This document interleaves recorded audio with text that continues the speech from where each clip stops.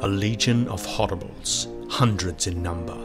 half naked or clad in costumes attic or biblical or wardrobed out of a fevered dream, with the skins of animals and silk finery and pieces of uniform still track with the blood of prior owners, coats of slain dragoons, frogged and braided cavalry jackets, one in a stovepipe hat, and one with an umbrella, and one in white stockings and a blood-stained wedding veil, and some in headgear or crane feathers or rawhide helmets that bore the horns of bull or buffalo, and one in a pigeon-tailed coat worn backwards and otherwise naked, and one in the armor of a Spanish conquistador, the breastplate and pauldrons deeply dented with old blows of mace or saber, done in another country by men whose very bones were dust, and many with their braids spliced up with the hair of other beasts, until they trailed upon the ground, and their horses' ears and tails worked with bits of brightly colored cloth,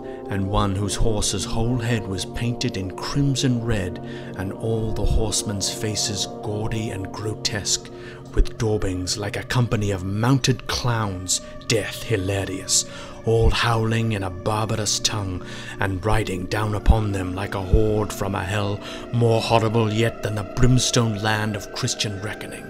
screeching and yammering, and clothed in smoke like those vaporous beings in regions beyond right knowing, where the eye wanders and the lip jerks and drools.